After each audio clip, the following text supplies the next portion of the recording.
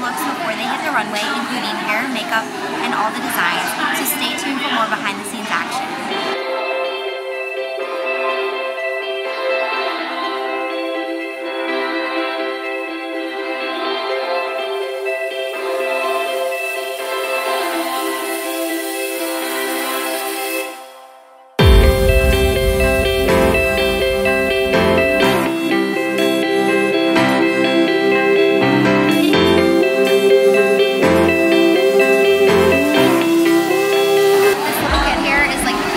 still in the show.